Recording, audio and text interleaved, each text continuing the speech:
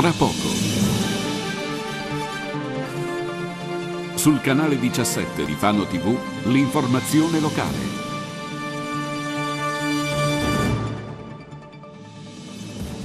Giovane 27enne di Gubbio perde la vita in un incidente stradale vicino a Cantiano, ferita l'altra persona che viaggiava con lui. In Consiglio Comunale a Fano maggioranza e opposizione si spaccano sul nuovo regolamento degli arredi urbani che alla fine però viene approvato. Le Marche sferzate dal maltempo, numerosi gli interventi dei vigili del fuoco, strade allagate, treni a rilento e linea adriatica bloccata tra Pescara e Teramo. Da oggi scatta l'obbligo delle dotazioni invernali a bordo, ecco cosa c'è da sapere per non avere brutte sorprese. Il Natale che non ti aspetti, presentata a Pesaro, l'iniziativa dei mercatini di qualità sparsi in tutta la provincia.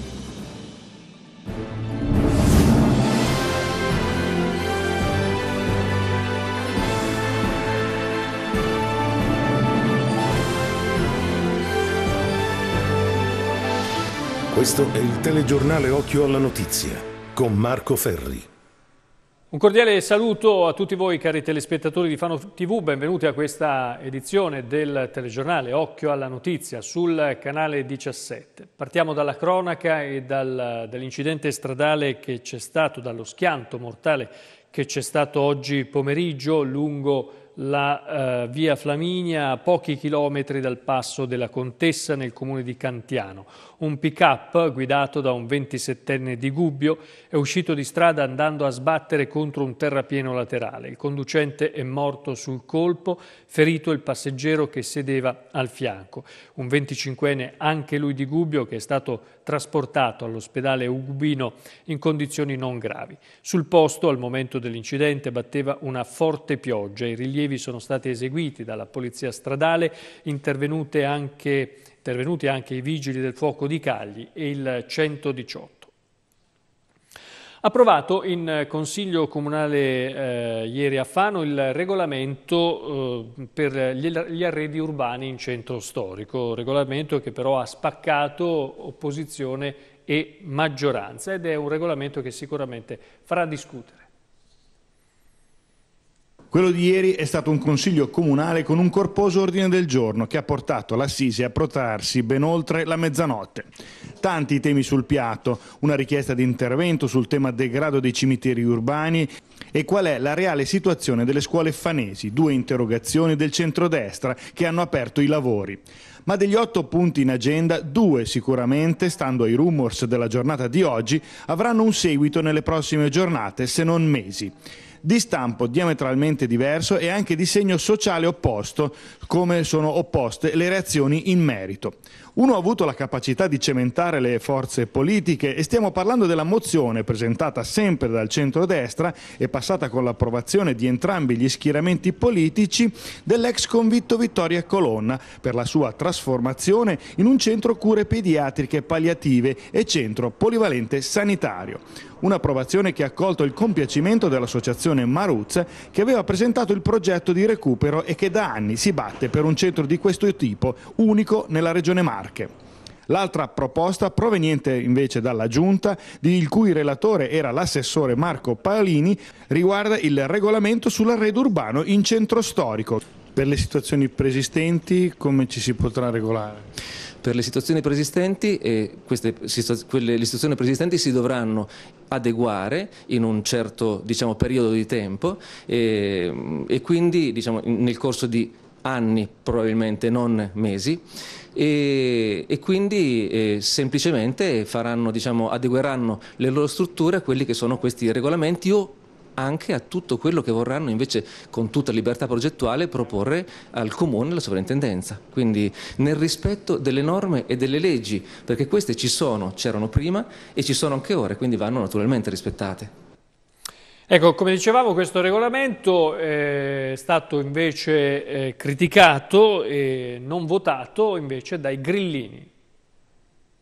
Allora, voi invece avete votato contro questo regolamento, perché? Quali sono le ragioni di questa decisione? Beh, essenzialmente permettiamo che comunque un regolamento per gli arredi urbani nel centro storico è necessario per Fano, ma è stato sbagliato completamente il metodo e quindi poi ne ha risentito anche eh, il contenuto di questa, di questa delibera.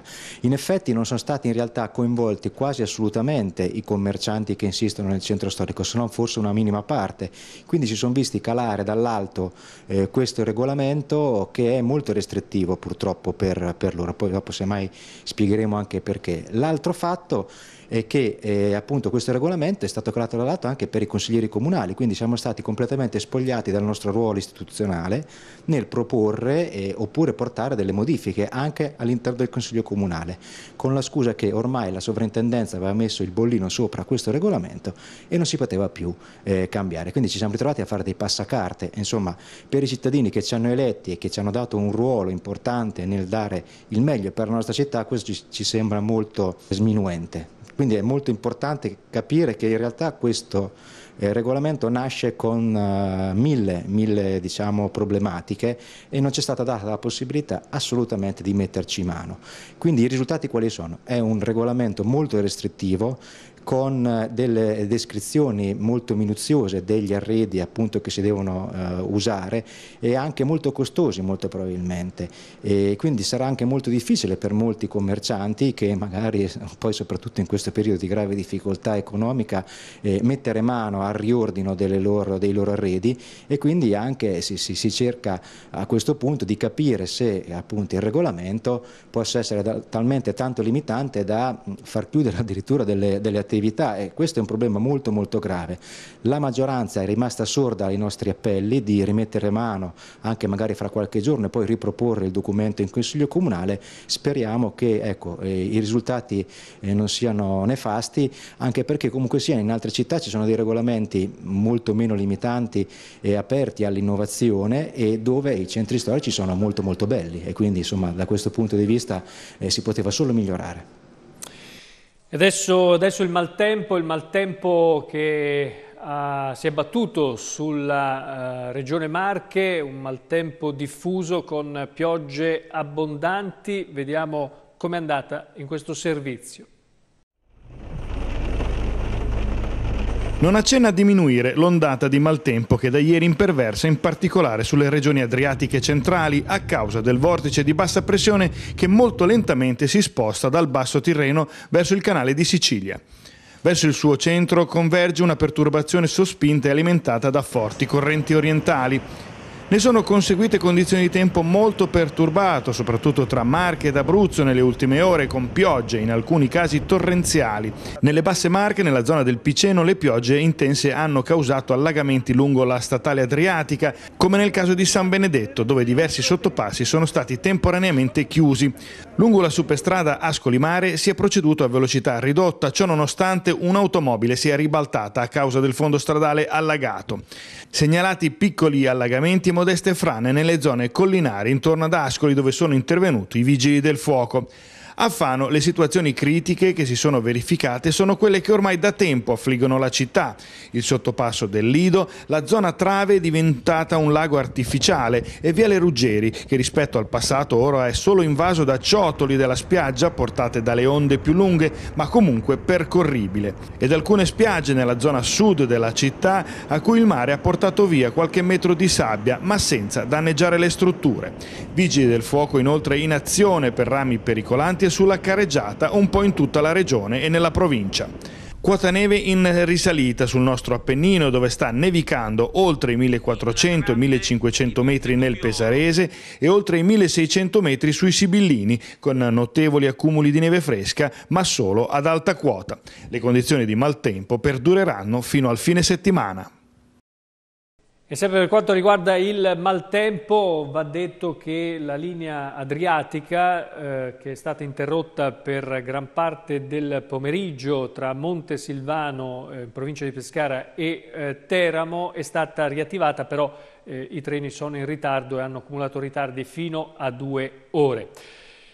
Per chi invece viaggia in macchina, in automobile, da oggi, eh, da oggi scatta, eh, scatta, l'obbligo di avere a bordo montate le gomme invernali o comunque di avere a bordo appunto le catene da neve. Ma vediamo in questo servizio eh, quali sono gli accorgimenti per non incorrere in multe anche salate.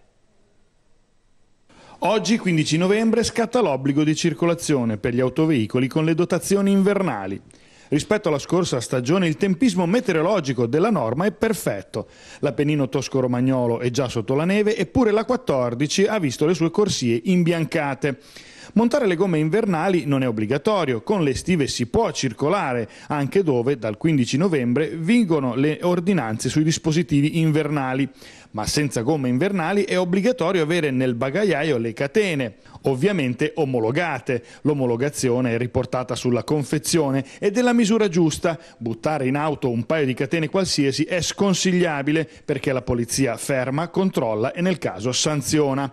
Altro escamotage molto in voga ultimamente per evitare il monta e smonta è la gomma 4 stagioni, marchiata talvolta all'inglese all season. Questi pneumatici sono una via di mezzo fra gli estivi e gli invernali, hanno l'omologazione M più S, dunque sono in regola con le ordinanze invernali e sono realizzati con una mescola che assicura delle prestazioni in termini di tenuta e frenata accettabili sia con il caldo sia con il freddo, con l'asciutto e con il bagnato. Come pneumatici sì, le quattro stagioni stanno facendo qualcosina in più, sono sempre un compromesso, quindi è da valutare in base al cliente, in base al chilometro e quello che ecco, si deve fare. Anche qui ci sono diverse fasce di prezzo, diciamo se possiamo dare un orientamento, una buona quattro stagioni o una buona invernale su che cifre siamo? Ah, una misura media dai 90 ai 100 euro, un buon quattro stagioni si trova. A questo punto avreste dovuto già prendere l'appuntamento con il vostro gommista di fiducia e se questo non lo avete fatto, sappiate che se verrete pizzicati andate incontro a una sanzione sanzione di 85 euro e nel caso di condizioni meteo avverse o improvvise, come ci segnalano gli organi di polizia stradale, potreste andare incontro anche ad un fermo tecnico del veicolo oppure obbligati ad aspettare che il tempo migliori o essere dirottati su strade diverse per non incappare in tutto ciò. Occhio ai segnali stradali, su moltissime strade extraurbane e autostradali l'obbligo è segnalato con gli appositi cartelli.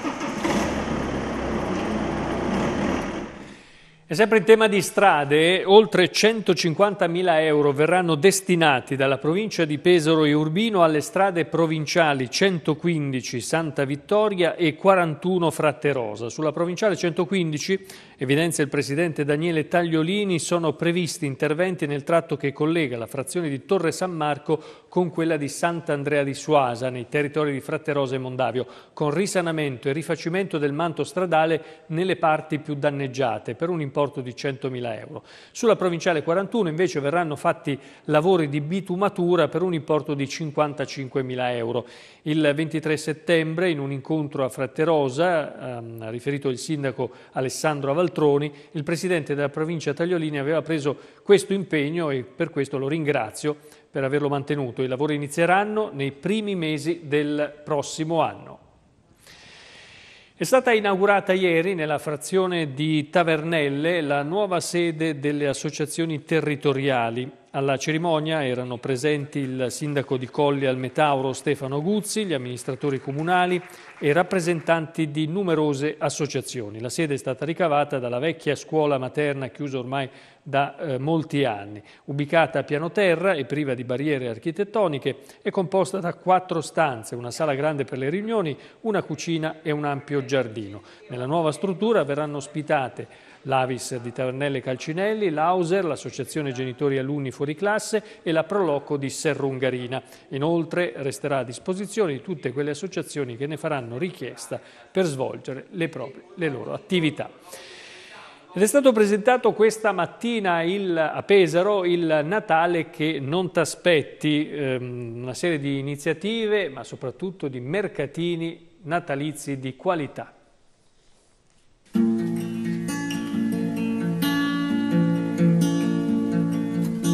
Natale che non ti aspetti in realtà è proprio ciò che ti aspetti.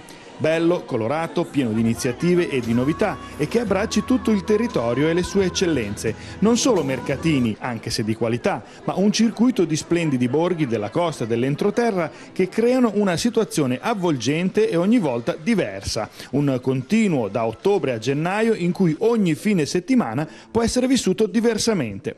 Il Natale che non ti aspetti della provincia di Pesaro Urbino, messo a punto con il supporto della Regione Marche, dall'Umpli provinciale, grazie al determinante intervento della provincia, è tutto questo. La strategica posizione delle Marche dal punto di vista geografico, la promozione a livello nazionale ha visto l'arrivo nella scorsa stagione di ben 240.000 visitatori, confermando che il percorso intrapreso nel 2011 sta dando i suoi frutti perché questo evento diventi il punto di riferimento del Centro Italia per le iniziative di stampo natalizio. Se continueremo a lavorare bene facendo sempre di più crescere questi, questi, eventi, queste opportunità, sicuramente saremo sempre più competitivi e i risultati già si stanno vede vedendo. E I luoghi sono straordinari, le manifestazioni sono molto belle, è, è diventato ormai il Natale che non ti aspetti un brand nazionale che dopo, io dico, dopo il, i mercatini dell'Alto Adige è sicuramente diventato un punto di riferimento per i turisti a livello nazionale ma anche all'estero. Sono convinto che negli anni daremo del filo da torcere anche all'Alto Adige perché la bellezza dei nostri luoghi li rende sicuramente molto competitivi. 14 proloco e comitati in rete per altrettanti luoghi dove vivere l'atmosfera natalizia con ambientazioni uniche, artigianato locale, eccellenze territoriali e giovani imprese che mostrano il loro lavoro e soprattutto volontariato, senza il quale tutto questo movimento di persone non sarebbe possibile. Se non ci fossero le Proloco noi non potremmo fare nulla.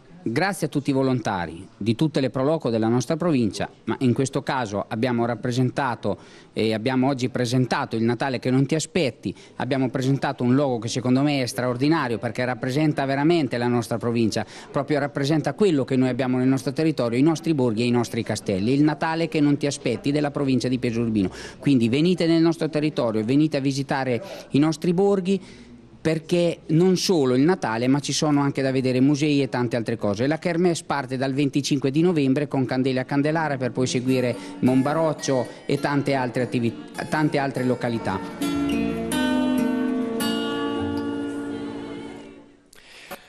Durante una partita un giovane giocatore di rugby rinunciò a segnare una meta per far realizzare un sogno ad un suo compagno di squadra. Ebbene, questo splendido gesto sportivo è stato premiato dal CONI.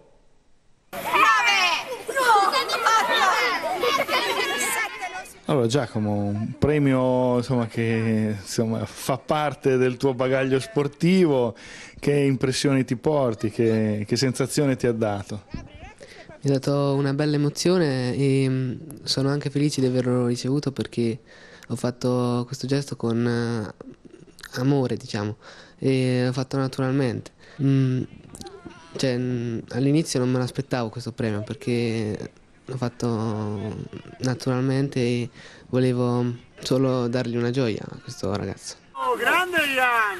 Allora spesso si dice lo sport come scuola di vita, ma il rugby ha in sé, insomma nel DNA, proprio regole che valgono anche al di fuori de del campo, insegna molto da questo punto di vista. Beh, sicuramente è un premio prestigioso, un gran riconoscimento per noi per il nostro lavoro. E abbiamo sempre posto attenzione, oltre che alla parte sportiva, a quella diciamo, umana a 360 gradi, quindi siamo molto contenti.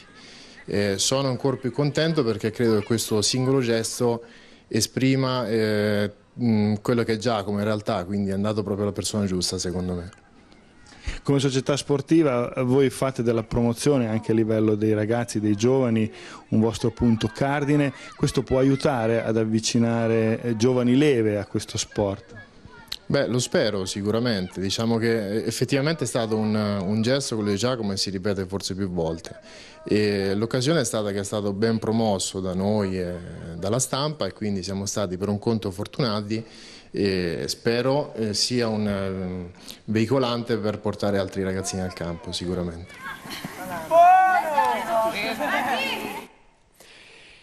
Bravo Giacomo e a proposito di campioni eh, sia eh, nel campo che fuori dal campo vi ricordo che dopo box e in cucina con lo chef c'è un'altra campionessa, una campionessa eh, come Giusy Versace che ha ricevuto nei giorni scorsi un premio, il premio Volpini. Ve lo trasmetteremo subito dopo eh, i nostri programmi che vi ho appena detto. Io mi fermo qui, l'informazione torna domani mattina alle 7.30 con eh, Occhio ai giornali in diretta. Grazie per averci seguito, buona serata a tutti.